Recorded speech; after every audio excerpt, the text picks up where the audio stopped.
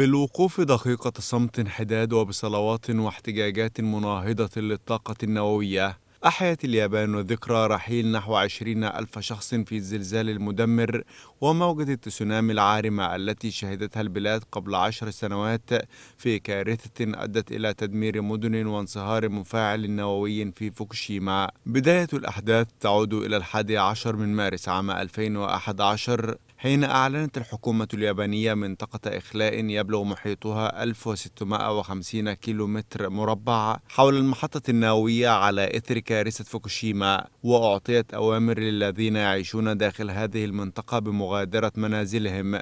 لكن العديد من الأشخاص الذين يعيشون خارج هذه المنطقة قرروا المغادرة أيضا حتى سجلت مقاطعة فوكوشيما بعد ذلك بعام. نزوح حوالي 165 ألف شخص مجبرين أو طوعا عقد من الزمان مر على الزلزال البحري القوي الذي تسبب بحدوث موجات تسونامي تسببت بدورها في أسوأ حادث نووي في العالم منذ تشيرنوبل ولا يزال التساؤل مطروحا كيف يمكن إعادة مجتمع في ظل مخاوف مستمرة من التعرض للإشعاع النووي.